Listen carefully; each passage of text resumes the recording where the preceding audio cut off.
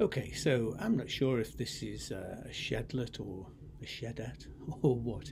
It's really actually a short reflection which I gave last Sunday in uh, in a church via Zoom, of course, in a beautiful little Devonshire village called East Anstey, where we have some very good friends. And um, I thought that I'd like to uh, record it here at the shed and uh, make it available to all of you, to a wider bunch of people. It was a pretty special Sunday for me, actually, last Sunday, because it's precisely 10 years ago on that, the second Sunday of Advent, that I preached my first sermon after recovering from a heart attack in mid October 2010. It's interesting, you know, that the expression heart attack is a bit like the word cancer. We don't really too much like to say it, so I discovered because uh, among the huge numbers of lovely messages and get well cards that I received back then, very few of them mentioned the dreaded phrase heart attack. People expressed sorrow that I'd been ill or not well, or they said they were sorry about my scare. One card actually said, We're sorry you've been under the weather lately. I guess it's how most of us are, really. We, we try to avoid pain and painful subjects. I know I do. Doctors, on the other hand, are a lot less di- diplomatic. You've had a heart attack, Mr. Tomlinson, the cardiac consultant told me the following morning very bluntly. And it was a shock, to say the least. You know, because heart attacks happen to other people, not me.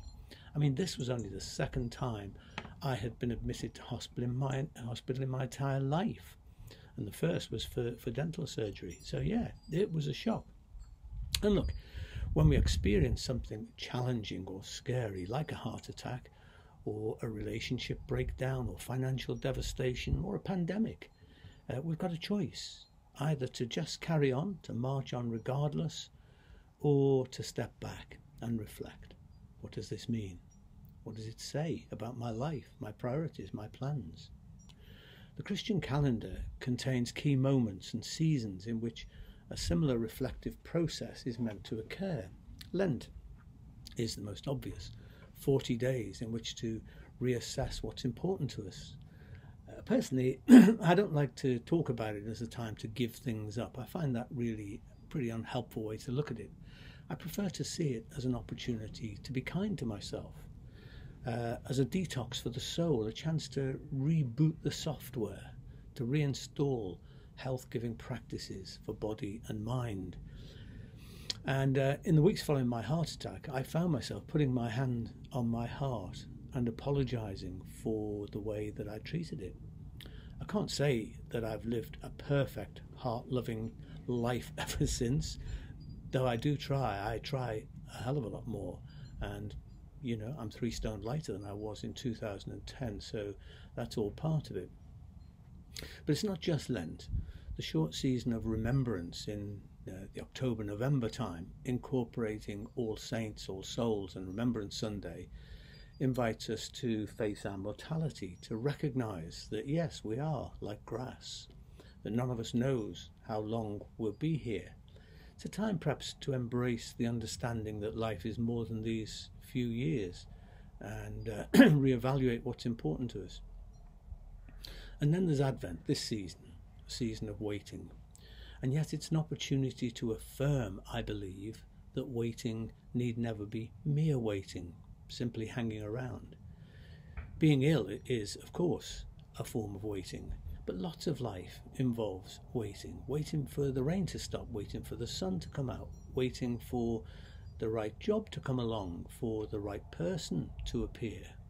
Waiting in traffic, one of my personal favourites not. Waiting for a vaccination to arrive, which thankfully it has. Life involves waiting, it's unavoidable. However, it's up to us how we wait, and that's the big thing, isn't it? Uh, it's what Advent is really all about, I think. Learning to wait expectantly, receptively, not passively. And, and that requires patience. Henry Nouwen says the word patience means the willingness to stay where we are and live the situation out to the full in the belief that something hidden there will manifest itself to us. Impatient people, he says, are always expecting the real thing to happen somewhere else, and therefore they want to go elsewhere. The present moment, therefore, is empty. But patient people, he says, dare to stay where they are. Patient living means to live actively in the present and wait there. So waiting's not passive. It shouldn't be. It involves nurturing the moment in the way that a mother nurtures the child that's growing within her. I suppose, uh, without being overly pious, which isn't something I'm too often accused of, Advent waiting, any kind of waiting, provides a golden opportunity to listen to what God is saying in all of that. Well, I tell you this I love what God is saying in the reading for the second Sunday of Advent from Isaiah chapter 40, which says, Comfort, O comfort my people, says God, the one who will feed his flock like a shepherd, who will gather the lambs in his arms and carry them in his bosom and gently lead the mother sheep. Deutero Isaiah is just great, isn't he?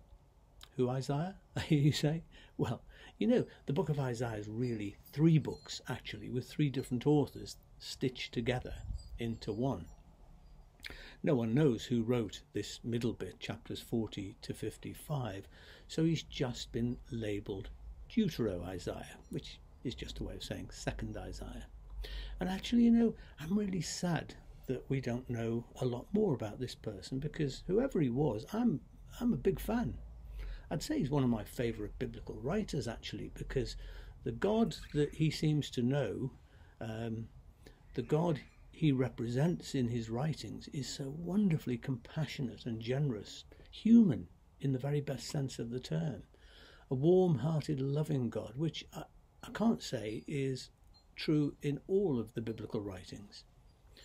Did you know that Isaiah, second Isaiah, is the only book in the Bible that has God saying those three magical words I love you. Yeah, it's true. It's the only place you'll find it. Isaiah 43, verse 4 says, You are precious in my sight and honoured, and I love you. Second Isaiah's God is a God who speaks tenderly, who restores peace to a people who've lost their way. It's actually addressed to a people, people of Israel, who were in exile people in despair, people estranged by their circumstances, as lots of folk around the world have felt estranged in 2020. The Israelites, of course, had a longer deal. I mean, they'd been in captive, uh, captive in Babylon for 40 years. Their temple was destroyed, Jerusalem was in ruins, dreams were shattered, home and some kind of normality, as we now like to say, felt a very long way off. Don't be afraid, God says. Don't be afraid, for I will strengthen you, and I will hold you with my right hand. I have redeemed you. I know you by name. Can a mother forget her suckling child? Maybe, but I will not forget you. I am like a shepherd who gathers the lambs in my arms. This is this is a God I can relate to, I can believe in. This is this is a God of grace also in a time of despair and disappointment about stuff going on in the world, the wonderful Alice Walker wrote, It helps sometime to look and see a flame red bougainvillea climbing over the ledge down onto the deck. They can destroy the earth, she says, and take everything it has, but there will always be stubborn flowers climbing whatever walls are left. Stubborn flowers. I love that. Stubborn flowers. I think Second Isaiah was something of a stubborn flower, a prophet of goodness and kindness, a voice of gentleness and hope. Uh, when everything around was alien and depressing, his voice was persistent. And I'd like to be a stubborn flower, wouldn't you? I hope I am, really. I hope I am, in my own way, a stubborn flower, keeping alive hope when the rubble of despair seems to be overwhelming, the rubble of a pandemic, the rubble of black and white religion. My God, an awful lot of people have got buried under that. And a lot of us have found comfort in nature during this difficult year, haven't we? It's almost as if a close relative came to our rescue. Because, you know, the birds and trees, um, this whole world of nature is, in fact, our family. It's where we belong, even though we frequently abuse it or, at the very least, forget about it and take it for granted. But lockdown turned our attention toward nature in a rather wonderful way. And I reckon Advent, December, is also a good time to slow down, look around, pay attention to our beautiful Earth family, to learn from its dogged presence, you know, its stubborn resistance in the face of the harshness and cold uh, of winter. When I lay in my hospital bed recovering, you know, Pat brought me a copy of Mary Oliver's book, Thirst. Uh, it's another collection of her poetry. And uh, Mary Oliver was not just a nature lover, she was certainly that, but she was also a nature mystic because she actually fellowshipped with trees and flowers and birds and, and even even snakes. Uh, she she discovered God in nature. She heard God's voice in nature. Let me read this one to you. Uh, it's called When I'm Among the Trees. When I'm among the trees, especially the willows and honey locust, equally the beech, the oaks, and the pines, they give off such hints of gladness.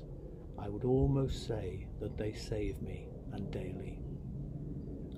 I am so distant from the hope of myself, in which I have goodness and discernment, and never hurry through the world, but walk slowly and bow often.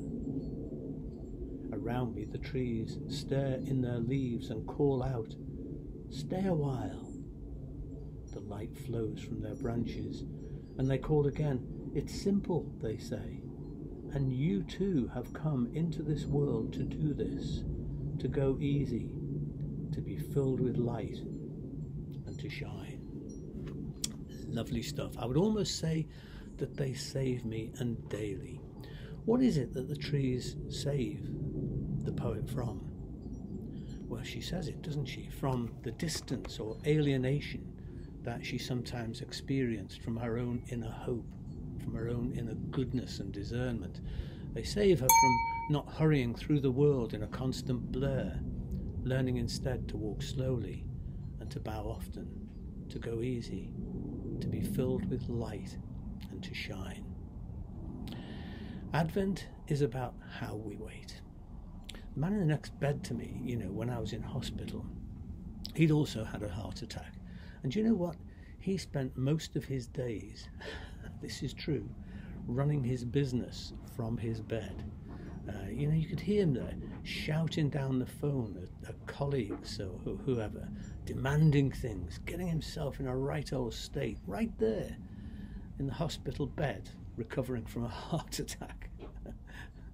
you know, it's not what happens to us that changes us for the better, it's how we respond to what happens. Uh, as the small voice within stubbornly speaks, telling us, Be comforted, stop struggling, stop trying to justify yourself, stop trying to make things happen. Relax, you're loved, you're accepted, you're precious. Not for who you might be, but for who you are right now. So, uh, as you go about the rest of this period of December before Christmas, have a peaceful Advent and uh, be comforted. Look after yourselves. Bye.